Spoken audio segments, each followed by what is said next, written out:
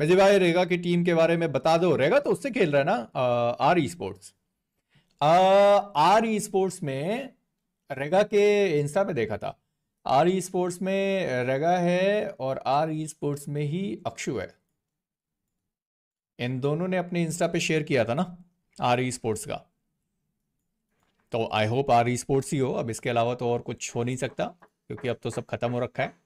Views on soul जॉर्ड मज़ेदार है, switch अच्छा है, पर मेरा पर्सनल ओपिनियन थोड़ा सा अलग है, आपका अलग हो सकता है, वैसा। ऐसे नॉर्मली देखोगे तो भाई अच्छा है। Your honest and personal opinion on swap मेरे हिसाब से अच्छा है यार।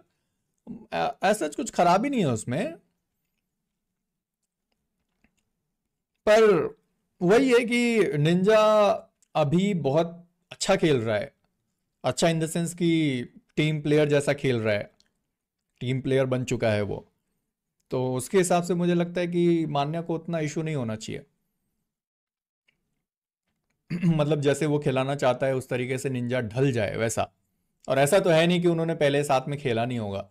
ऑब्वियसली खेला होगा, नहीं तो ऐसा छः सात दिनों के अंदर वो थोड़ा ट्रांसफ़र कर लेंगे। Opinion on team XSpark team XSpark का प्लेइंग फोर क्या हो सकता है? प्लेइंग फोर ही चार ही है ना उनके पास? प्लेइंग फोर क्या? चलो, कम से कम जोकर के लिए सब खुश होंगे कि अब रेगुलर बेसिस पे वो खेलेगा, वैसा। जोकर के लिए सभी खुश हैं कि अब वो रेगुलर बेसिस पे खेलेगा। मैं भी खुश हूँ कि भाई रेगुलर बेसिस पे वो खेलेगा। तो मज़ेदार है।